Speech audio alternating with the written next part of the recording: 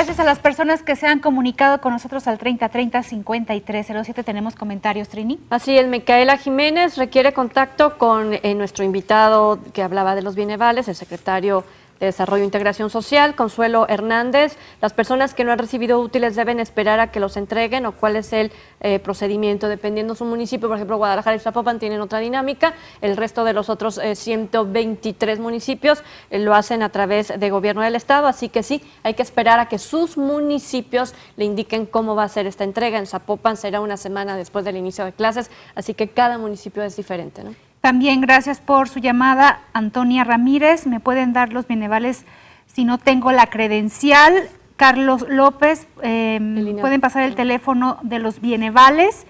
Y Beatriz Alvarado pide también el teléfono para este programa de em, las visas, lo que nos platicaba también el secretario Miguel Castro Reynoso.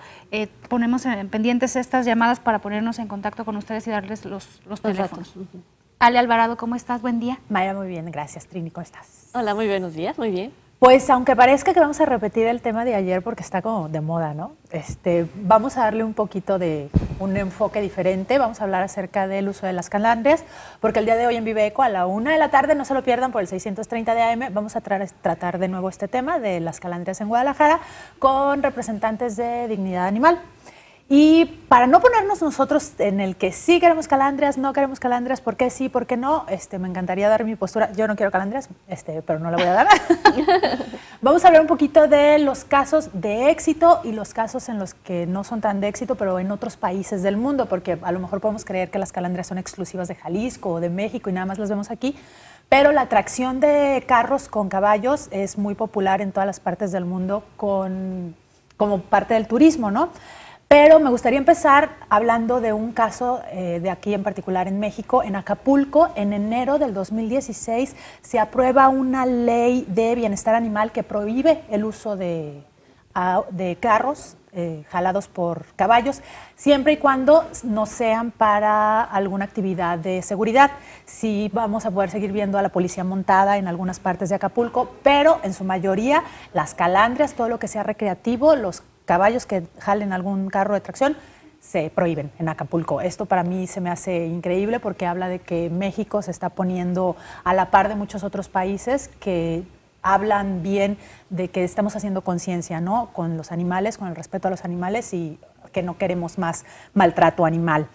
También en Colombia, en Cartagena, el presidente de, perdón, el, dicen que el 31 de diciembre del año pasado entró en vigor una ley donde dice que los las calandrias van a seguir funcionando, sin embargo, como vieron que también había casos de desplomo de animales que habían trabajado durante muchísimas horas sin tener el cuidado adecuado, dice que los carros van a ser jalados por dos caballos para disminuir la presión de solamente una carga en un caballo o para relevarlos, ¿no? Si un caballo ya trabajó un par de horas o está soleado o está cansado, pues entonces se releva por el otro caballo, pero la, la idea y lo ideal es que las calandrias sean jaladas por dos caballos.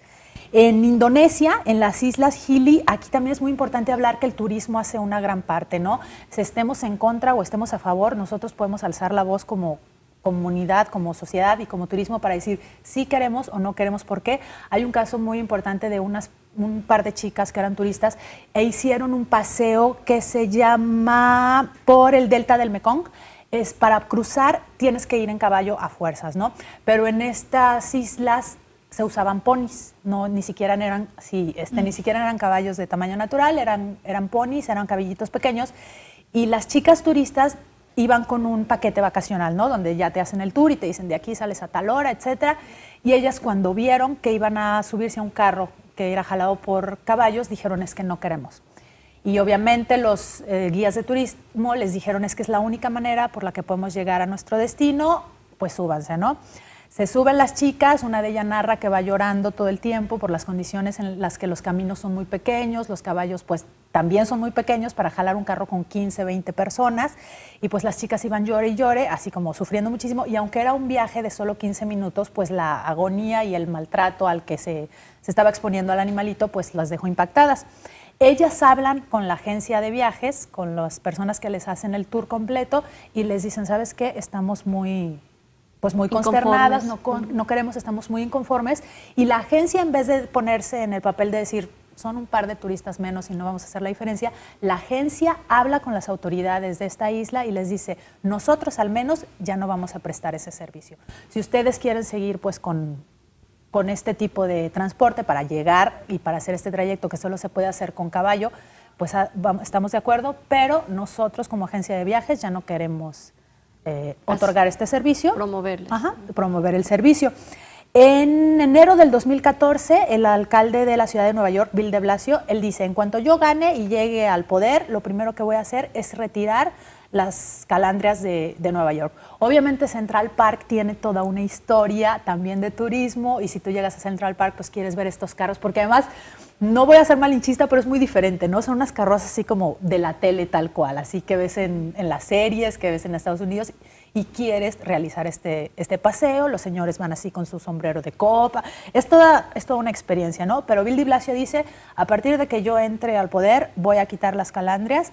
Lamentablemente, por grupos de oposición o por grupos que estaban de acuerdo, dijeron, no se puede quitar, es una tradición increíble de, del Central Park. Y entonces dice, ok, van a seguir estas calandrias, sin embargo, vamos a hacer obligatorio la construcción de establos para que los caballos sean sean bien, atendidos, tengan un lugar digno y buenas condiciones para que estén descansando mientras no estén trabajando. Además de que él dijo que se sustituirían en algún momento por carruajes que fueran ecológicos. Este es otro caso de éxito que aunque no se quitaron completamente, se les está, dando una, una oportunidad y una, una atención más digna a los caballos. En la ciudad española de Sevilla se van por el precio. En Sevilla es un atractivo turístico increíble ir, ir en paseo de, caballo porque vas por varias paradas por el centro, como también aquí en la ciudad de Guadalajara. Es un recorrido turístico donde te hablan de la historia, de la arquitectura, etcétera. Pero allá, yo no sé cuánto cuesta un paseo en Calandria aquí en Guadalajara. 250 pesos. Y, y dura aproximadamente eh, no lo sé. ¿Quién sabe? Bueno, sí lo he hecho, pero sí, sí es un, es un recorrido largo, ¿eh? No es corto es una hora, es, es, es largo. Es considerar más de una hora. Sí, sí, sí. En Sevilla los recorridos van de 45 minutos a una hora, pero cuestan 45 euros. Estamos hablando de que ahorita, como está el dólar, son unos mil pesos aproximadamente. Si tú te vas a querer subir a la calandria y hacer este paseo, vas a pagar mil pesos. Y en promedio, cuando hay fiestas patronales o cuando hay fiestas de la ciudad, el precio sube hasta 142 euros, que estamos hablando de 3 mil pesos si queremos hacer uso de este tipo de recreación, pues también es caro, ¿no? Es una manera no de seguirlo fomentando y no de cortarlo de tajo, pero pues sí es como poner un impuesto o unas multas un poco más altas, ¿no? Por, por obtener este servicio. Sí, decía eh, la representante de APRODA, la señora Marta, el día de ayer, es, muy bien, quita las calandrias y dime quién le va a dar de comer a esos caballos. Garantízame que esos caballos van a tener de aquí al resto de sus días un lugar donde pueden vivir dignamente, porque si estás peleando esa dignidad, entonces de manera gratuita, sin que ellos produzcan un ingreso, tendrá alguien que darle, este, precisamente tendrá que darle eh, ese, ese beneficio de tener una vida digna. Entonces, tú ponles el balance y el momento en que este eh, caballerango o este jinete no tenga, su, no tenga este trabajo, pues entonces, ¿cómo vive el otro, no? ¿Qué va a hacer con el caballo? Exactamente. Aquí, digo, yo también voy a poner mi opinión, es, ya tienes una fuente de trabajo, entonces, venga, apóyala con dignidad, ¿no? Y con dignidad, como decían, bueno, dale unos triciclos, unas bicicletas a estos eh, dueños de caballos y que quiten el caballo y ellos se pongan a jalar mi vida. Entonces, vamos a lo mismo, ¿no? Claro. Ale, muchísimas gracias. Gracias a ustedes y pues no se pierdan por favor el día de hoy Vive Eco a la una de la tarde por el 630 de AM. Vamos a profundizar en este tema y espero que nos escuchamos, Ale. Gracias. Llegamos al final, gracias por su atención. Los esperamos mañana. Hasta mañana, Trini. Nos vemos mañana, miércoles, mitad de semana. Gracias.